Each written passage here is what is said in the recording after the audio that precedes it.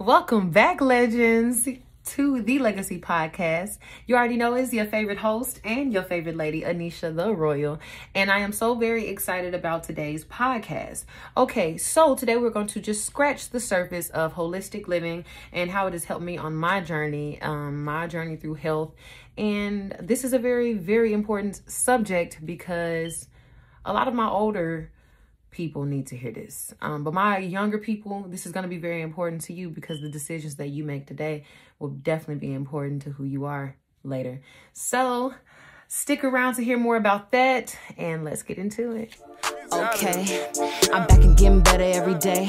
I never left, but I play it in my A. I had to switch up the flow like, okay. Thank you for sticking around. I am so so thrilled to have you here. Thank you all for supporting me. Everybody who's new, everybody who is returning, everybody who is with me through the daily inspirations, all of the support, all of the love, the comments, the likes, subscribes, sharing. It is all very much so appreciated. I am very grateful for all of you. I thank all of you and I love all of you so very much. I wanted to definitely say that before we started into today's topic. I would just like to take the time out to talk about the body. Now, our bodies, as we know, are our temples. Everything that we do with this body, that we put in this body, it will catch up to us. So I do want my young people to understand that this is a very important subject to you because although they're you're young, what you do today is going to affect you later on. Choices that 22 year old Nisha is making 40 year old Nisha will have to deal with.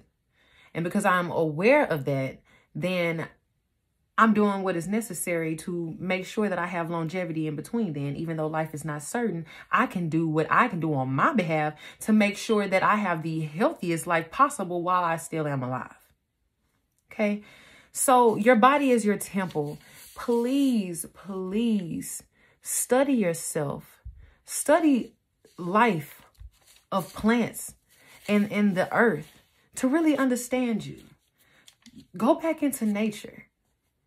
Even the different medicines and all this other poison that you're being served, it all originally comes from the earth. So do you not think that you could heal yourself with anything that just comes from the earth?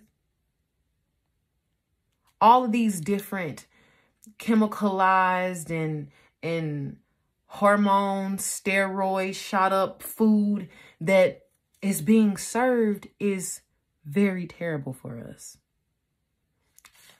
You have to chill out on the fast food, y'all.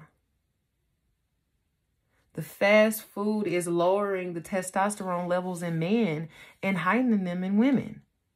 And that's where we get this off balance of the masculine and the feminine. But that's going to be another story for another day. I just want y'all to be aware that the, the food that you intake has a lot to do with a lot.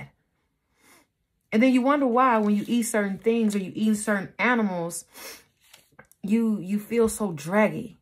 You feel so heavy, like it's just pulling on your energy or you're tired. Energy was made, I mean food, excuse me, was made to energize us. And you know, energy is not created or destroyed, whether it's transferred from one object to the next. That's Physics 101. And with that being said, that fear and anxiety and all of that that that animal is experiencing while being slaughtered right before it's being slaughtered, that energy is compacted into all of that. Then you add all the steroids and you add all the hormones and you add all these other chemicals in it. And what do you get? A discombobulation. All this anxiety, all this nervousness and you're putting it all in your body and you're wondering why why you are infiltrating all of that why you are portraying all of that out because only what's in can come out and that's something that my great great grandmother taught me shout out to maddie root but yes you know it is very very important that y'all have this awareness. And I'm just going to scratch the surface on this because this gets extremely deep. Okay, and a lot of y'all really not ready for that conversation, but this going to be a series on its own later on in the year. Be tuned out for that. But like, I really wanted to talk about this because I'm passionate about it. You know, I, at the very beginning of this year, am celebrating three years of being a vegetarian. And I'm telling y'all, my body has been the busy, biggest science experiment that I've conducted. I know the difference in my body. I feel the difference in my body. I feel the difference in my energy. I feel the difference in my spirit. I see it on my skin. I see it through my hair, my vibrations, which also heightens my awareness. So this gets really deep. Um, and I'm excited to spread this light. I really am because we need it. Now, what is holistic living exactly? For my older crowd, let me put my glasses on. A holistic lifestyle is a connected way of living that focuses on you as a whole, understanding how elements such as diet, sleep, exercise, and habits are working together to impact your current state of being. This sounds like this is where we get the concept of mind, body, and soul.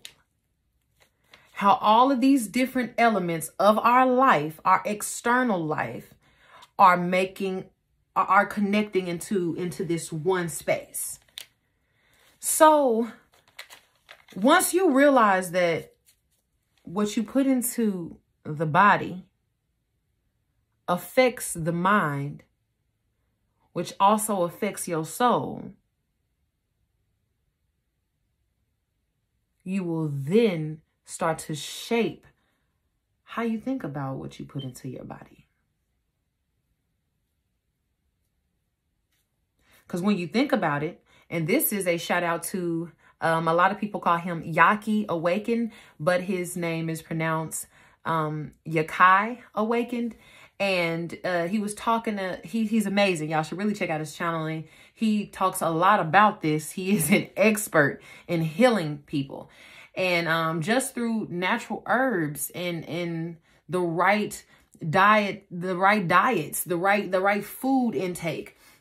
And he helped me realize just your DNA makeup. Go back to yourself. Go back to nature. Go back to how you are created. And, and we don't have the canines of a, of a lion.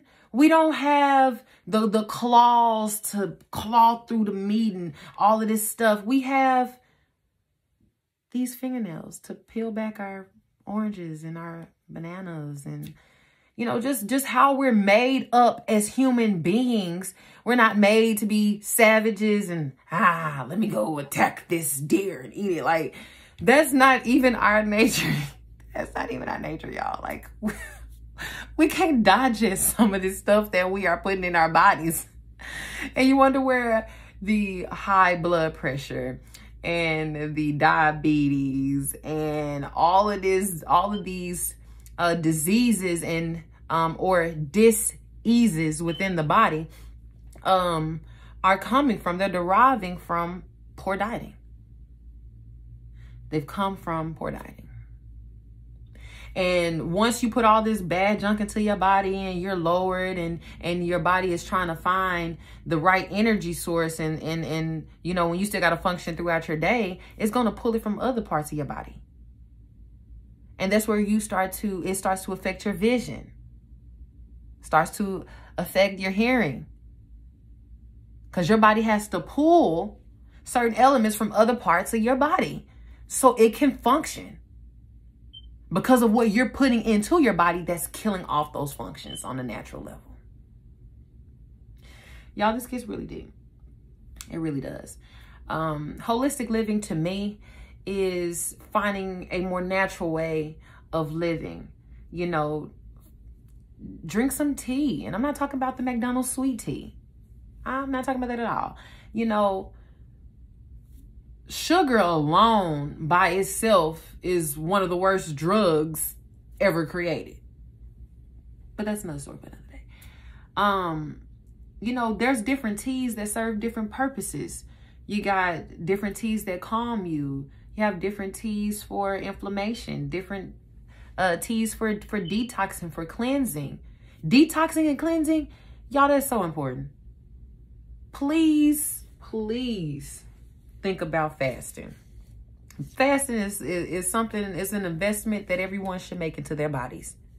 You should not really be eating so much every day. You really shouldn't. Your body needs a break at times to be at its healthiest state. Let it break down some things, especially if you go to McDonald's three times a day. That's not even digested in, within a week. You have to let your body break down, cleanse your body, get you some blackberries, some elderberries, some berries in general. Berries are really good, y'all. And a lot of people, I learned this from uh, Yakai as well. A lot of people are worried about their immune system, but the stuff that they are taking for their immune system is killing their lymphatic system. And the lymphatic system is what helps to keep everything else functioning. The immune system is important. Yes, it is. But your lymphatic system needs to be in place for your immune system to do its job. And it all starts with the right food that you put inside of you. Well, what is the right food, you ask?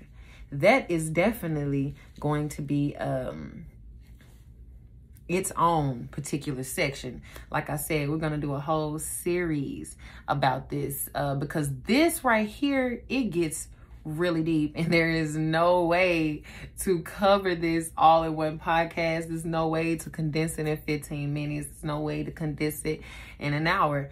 Um because there are just so it, it's just so much information that we don't know. Right we've all conformed to the soul food way of living. Oh, this is traditional, or I, I can't do that. I'm like it's just it's crazy, y'all. And the more that I talk to people about this subject, and the more they ask me, well, what do you eat? The more I understand how uneducated they are in this subject on a serious, serious level all in all, I am just so thankful that we have made it through today's podcast. Um, there's so much on this subject that we definitely will get into, including different types of food, fruits, berries, and their purposes, and teas. We will get into all of that the very next time we touch this subject because I am very passionate about longevity. I'm very passionate about being able to heal on a natural level. So we're going to get into this journey. And I'm telling you, a lot of you will have to slow pace yourself. Start a day at a time. If you do 1% every day, by the end of the year, you're 365% better than what you were at the beginning. One spark starts the fire. And so, for your daily inspiration today, I want you to remember to take care of yourself. Because if you don't take care of you, you can't take care of everybody else. You cannot. Just know that you can heal you just through the natural forms of earth. By taking in the right things, having the right dieting, even the right word play. You can speak life and you can also speak death. I want you to be reminded of that. I want you to keep that in your hearts. Okay. I love all of you so very much if you haven't noticed. and I really hope that you're loving yourself. Y'all know the goal is to be happy, and I will see all of you later.